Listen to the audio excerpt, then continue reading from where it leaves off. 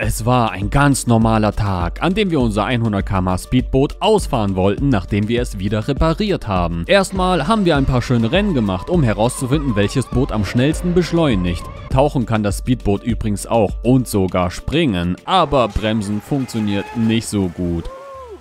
So sind wir dann in den Abgrund gestürzt. Es war echt schwer da runterzukommen, aber seht einfach selbst. Ah, Brennnessel, geil. Brennnessel, wow. Schön, dass es euch gibt. Super. Brennnessel. Aua, aua. Nein, ich bin in Brennnessel drin. So, jetzt marschiere ich hier in den Fluss oder was? Fast bei Wasser. Soll ich dir Koordinaten schicken oder was? Ah, uff. Junge, meine Beine werden voll mit Brennnessel sein. Ah, da war eine richtig aggressive Bremse.